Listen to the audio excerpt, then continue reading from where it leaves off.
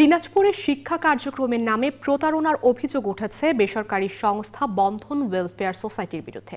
সংস্থাটি গ্রামে গ্রামে শিক্ষক ও সুপারভাইজার নিয়োগের নামে হাতিয়ে নিচ্ছে হাজার হাজার টাকা।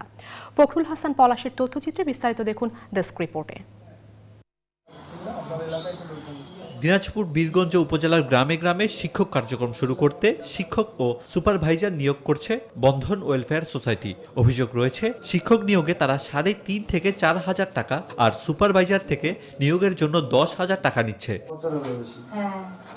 তবে টাকা নিয়ে নিয়োগ দিলেও এখনও কোনো কার্যক্রমই শুরু করেনি সংস্থাটি। ফলে চাকরি পাওয়ার আশায় টাকা দিয়ে বিপাকে পড়েছেন অনেকেই। কিছু দেয় নাই এখন পর্যন্ত।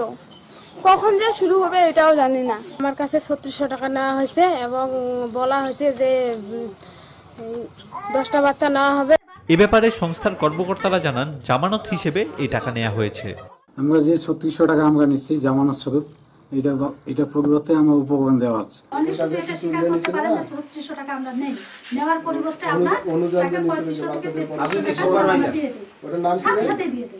বিষয়টি খতিয়ে দেখার আশ্বাস দিয়েছেন উপজেলা শিক্ষা কর্মকর্তা। বিষয়টি যদি নিয়ম বহির্ভূত হয় তাহলে অবশ্যই আমরা স্থানীয় প্রশাসন উপজেলা নির্বাহী কর্মকর্তার সাথে আলোচনার সাপেক্ষে আমরা এখনই প্রয়োজনীয় ব্যবস্থা গ্রহণ করব। কোনো অনিয়ম হলে আইন অনুযায়ী ব্যবস্থা নেওয়া হবে বলে জানান তিনি।